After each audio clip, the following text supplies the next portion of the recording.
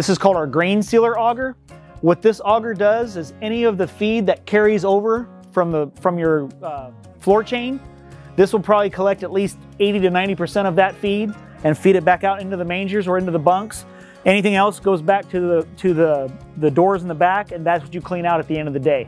This will get most of that feed out so that your subfloor, your false floor underneath will not start to accumulate feed underneath. Now we'll move over here to our crossfeed conveyor. One of the big uh, items, we have our patent pending equalizer auger. What this auger does is this auger will allow you to fill this whole crossfeed chamber with feed It'll pull the feed away from the door, let it fall on the conveyor chain, and then feed out and it will not let the, the feed bridge in the crossfeed in the crossfeed area so it feeds equally throughout the whole load. Another option with the crossfeeds that we usually have is a folding uh, crossfeed spout. This, this unit uh, doesn't have that on it.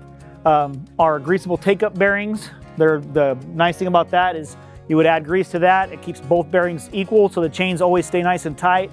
Um, the other thing is the serviceability of those is if you need to change these bearings out whenever you uh, need to replace them, you can actually just slide this whole assembly by undoing the chain. You can slide this whole assembly out to replace the bearing and slide it back in.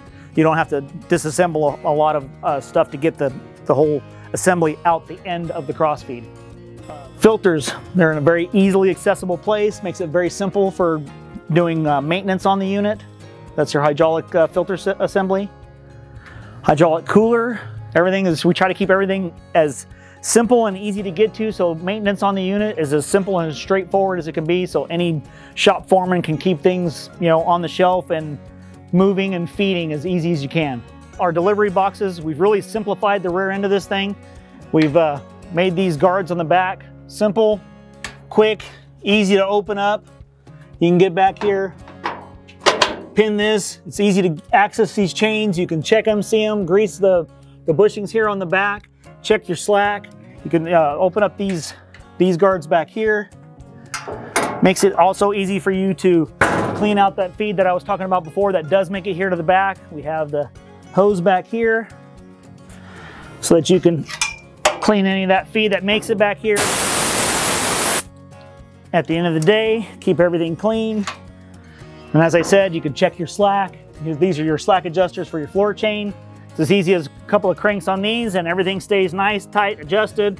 Makes servicing these things and keeping them in service all the time as easy as that. This is the guard in the backside of the, the adjustment idler for the grain sealer auger.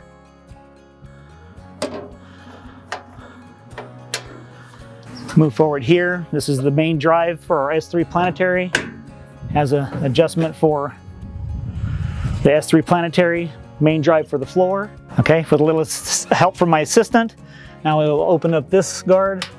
So on this side here, we have a grease bank. So that grease bank greases all the bearings for the beater assembly, where you can see all these, and these are all automotive brake style of fittings so they don't pop and break loose and everything's simple to maintain. Check your, your your chain adjustments, keep everything nice and tight, so simple and straightforward.